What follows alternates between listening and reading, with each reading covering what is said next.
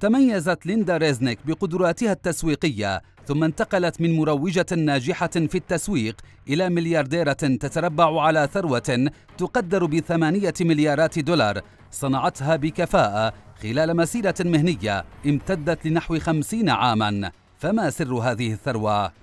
ولدت ليندا راي هاريس عام 1944 في ولاية ماريلاند الأمريكية وترعرعت في بنسلفانيا حيث كان والدها جاك اتش هاريس يعمل موزعا للأفلام وهو ما ساعدها للظهور وهي طفلة في حلقات من برنامج The Horn and Hardart Children's Hour بعد إنهائها مرحلة الثانوية انتقلت عائلة ليندا إلى جنوب كاليفورنيا والتحقت هناك بكلية محلية لكنها لم تكمل دراستها بسبب تولي وظيفة بوكالة للإعلانات حيث اكتسبت بعض الخبرة لتؤسس وكالة إعلانات خاصة بها تحت اسم ليندا Limited فيما كانت لا تزال في التاسعة عشرة فقط.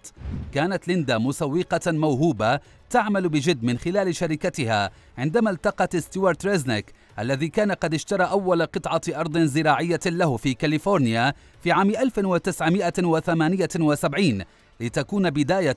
لتأسيس عملها في المنتجات الزراعية حيث تشاركا في شراء شركة تيليفلورا لتوزيع الورود وتوصيلها إلى المنازل في عام 1979 في ذلك الوقت تزوجت ليندا من ستيوارت وتخلت عن وظيفتها الإعلانية لتصبح نائب الرئيس التنفيذي للتسويق في الشركة ورئيسا لها في النهاية. خلال عملها في الشركة عرفت ليندا بحملات إعلانية لا تنسى واستراتيجيات تسويق رائدة مثل Get Crackin' للترويج للفستق و Flowers in a Gift التي فازت بجائزة إيفي الذهبية. كما شاركت في تأمين رعايات تلفزيونية رائدة ونالت حملاتها الترويجية تكريمات وجوائز محلية عدة إلى أن أصبحت رئيس مجلس إدارة الشركة في عام 1986 لاحقا نمت أعمال الزوجين وقاما معا بشراء العديد من الشركات وأعادا تسمية جميع مقتنياتهما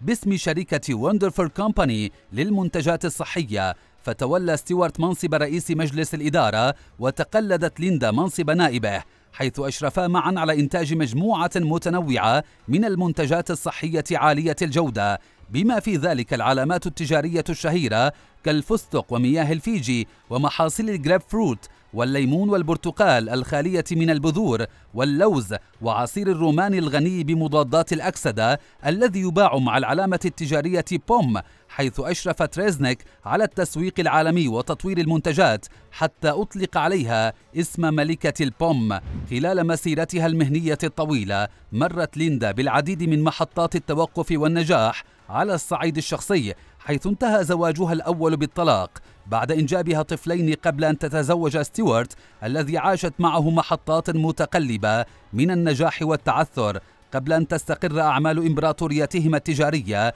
ويجمعا ثروة تقدر بثمانية مليارات دولار.